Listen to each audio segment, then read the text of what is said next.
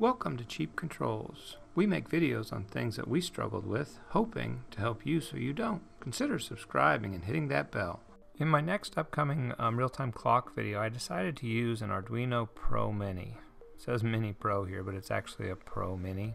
I'd never used one before, and I had a pretty hard time getting it going. And part of my tagline is, is I like to make videos on things that I struggled with to help you. And this was definitely one of those instances. This is the one that I chose to use. You can see that it's a Pro Mini.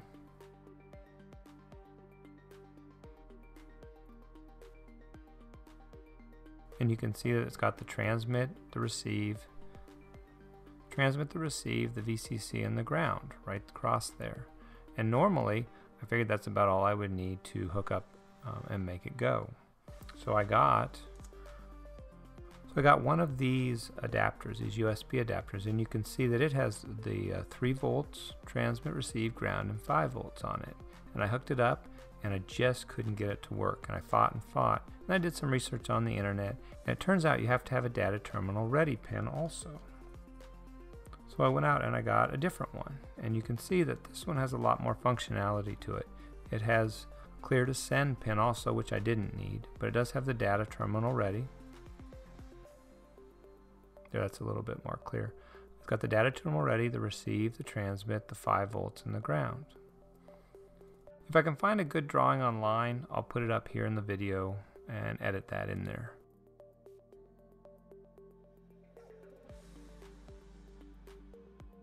But with that in, I got I got it to work quite well. I'm going to pull up an Arduino right now and I'll show you all disconnected and connected.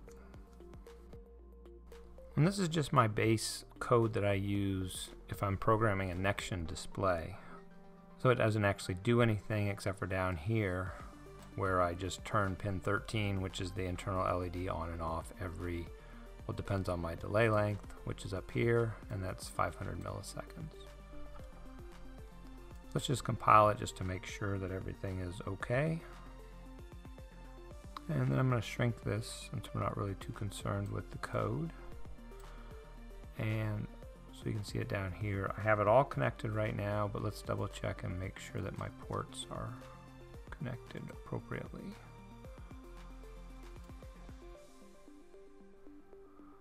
And we'll upload it.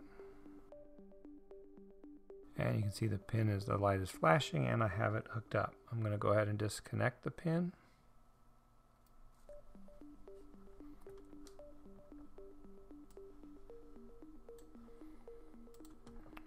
We'll send it again. The only thing I disconnected was that data terminal ready.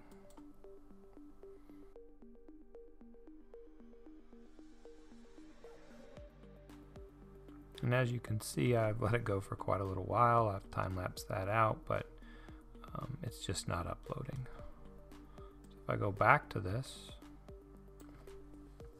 and I hook that pin back up, I don't know what'll happen. I've never hooked it up while it was loading. I usually stop it. Let's see if it completes the load, I guess. Now we'll go back to the... And it doesn't. It's just kind of stuck. I'm going to change this delay length just so we can see that it does make a change to 200 so it should flash a little bit quicker. I'll pull this up over here so we can see it. I don't know what'll happen when I click on this, if it'll go behind it or not, but starts over, bring it up, and this time it should go.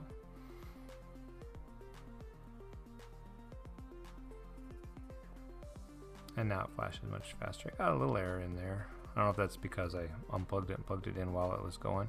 But as you can see, you need to try and, and find a USB adapter that has that data terminal ready and then you need to connect it on your um, Arduino. The other thing I noticed with these micros um, was up here in the tools. The type here, it had more choices than I was used to.